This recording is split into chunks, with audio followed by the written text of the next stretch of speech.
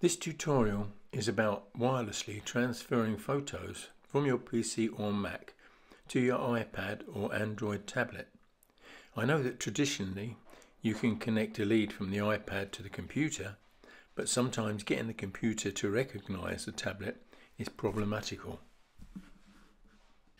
But I've discovered this little app called Air Transfer, and you don't have to bother with any wires at all.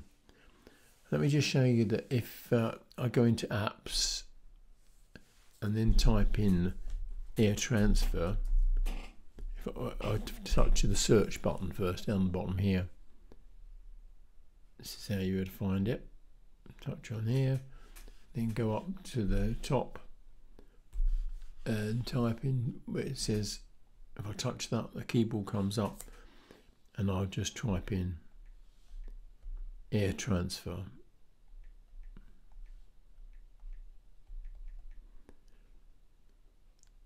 touch on that.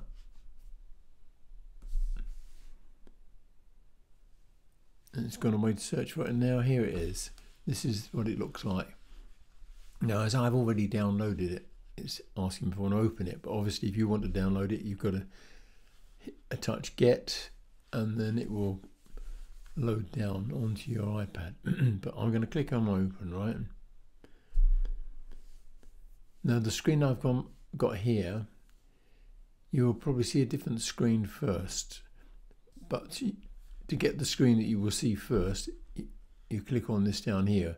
In fact, probably every time you open up Air Transfer, you click on here and you will find this URL here. Then what you do is you go into your web browser on your PC. It could be Google or whatever else you want to use and you type in that web browser. So if I if I do that on here, it says 192.168.1.6. Right, here we go. I'm going to type it in here.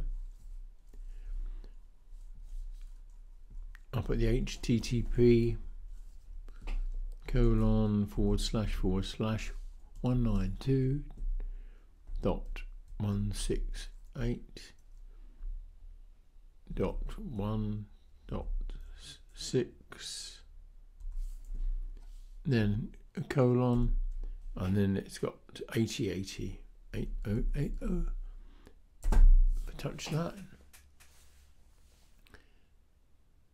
And you can see the screen that comes up.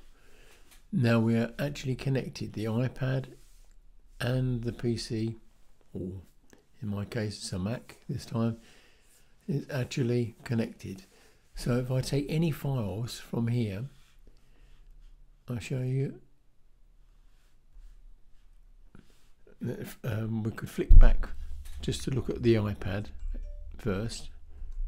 Let's see if I can do that.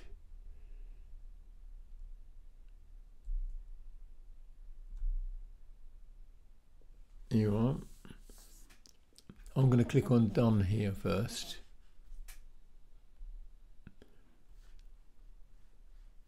Now we've gone back to this screen. Now I'll go back to my PC.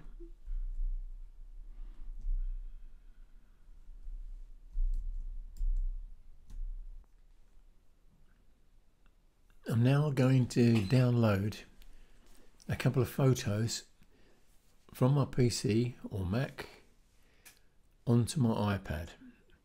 In fact, what I will do is I'll download them from the memory stick that I've got plugged into the PC. But it's just as easy to do that as it is to download photos straight from your PC. So right, let's go and find where my memory stick is. Click on here. Three photos there. And I've got to be able to see where I've got to drop them. And it's here. So now if I drag, now I've got the three selected. If I just drag one, it's taking the three across put it onto there and you can see it's ready to download I'm ready to drop. I'm going to take my finger off my mouse and straight away they've downloaded now if I go back to my PC uh, to my iPad, sorry, to see what's happened there. And there's three photos I just downloaded. If I touch that,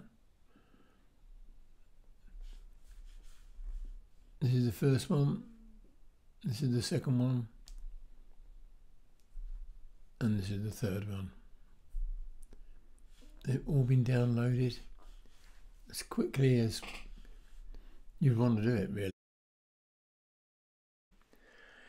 Sorry about the abrupt end there. I blame the gremlins.